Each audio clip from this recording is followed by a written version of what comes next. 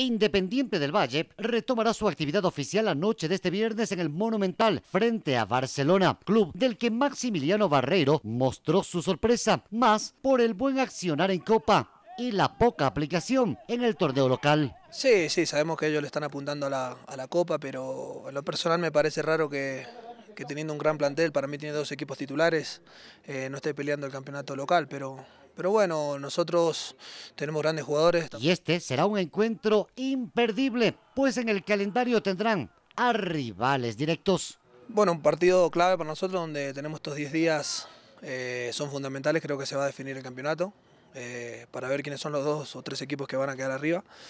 Enfrentamos a Barcelona y Delfín, son dos partidos claves y esperemos estar a la altura de la circunstancia y, como digo siempre, ser contundentes y aprovechar las situaciones de gol. Duelo a desarrollarse este viernes a las 19.30, en opinión del zaguero imbabureño Luis Ayala. Sabemos que viene haciendo una copa excelente y bueno, se ha enfrascado también en lo que es el campeonato local, viene sumando algunos partidos atrás y siempre sabemos que el Monumental se hace sumamente complicado. Barcelona es sumamente fuerte de local, pero bueno, nosotros tenemos grandes aspiraciones y nos ha ido muy bien allá. Integrados quedaron además Sebastián Méndez, Michael Estrada y Gabriel Cortés, quienes fueron parte de la tricolor y que bien podrían ser tomados en cuenta por Alexis Mendoza.